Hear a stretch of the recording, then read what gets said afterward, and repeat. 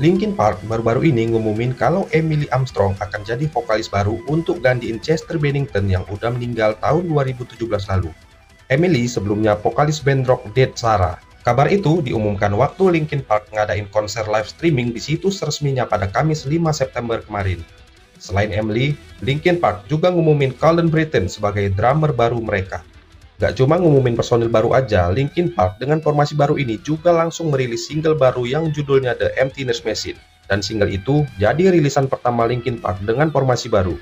Lagu ini juga jadi lagu pertama yang diluncurkan sama Linkin Park dari tahun 2017 atau sejak Chester meninggal. Selain itu, lagu itu juga jadi lead track untuk album terbaru Linkin Park. Band rock asal Amerika itu ngumumin album terbaru mereka berjudul From Zero yang akan rilis 15 November 2024 nanti. From Zero juga jadi album pertama Linkin Park sejak One More Life di tahun 2017. Album yang dirilis dua bulan sebelum kematian Chester Bennington. Linkin Park mengumumkan tur konser di enam titik berbagai negara, dari Amerika, Eropa, hingga Asia Tur bertajuk From Zero World Tour 2024 itu akan dibuka di Los Angeles dan New York pada tanggal 11 dan 16 September 2024. Mereka lanjut terbang ke Eropa untuk konser di Hamburg pada 22 September dan di London pada tanggal 24 September.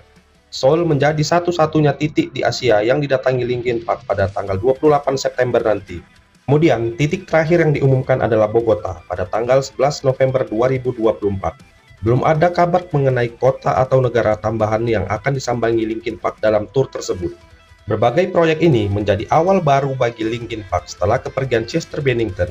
Band itu cukup lama hiatus bermusik karena kehilangan sang vokalis yang meninggal dunia pada 20 Juli 2017. Aktivitas musik Linkin Park cuma diisi sama perilisan yang diterbitkan ulang atau album kompilasi dan sempat ngadain konser penghormatan untuk sang vokalis Chester Bennington. Namun, dalam beberapa tahun terakhir, personil Linkin Park yang lain ngasih kabar kalau mereka lagi ngerjain musik baru.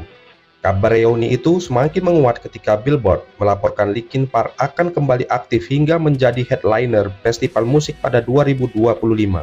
Nah, gimana guys? Kalau kalian suka sama video ini jangan lupa like ya. Dan gimana menurut kalian? Kira-kira Emily cocok nggak jadi vokalis Linkin Park?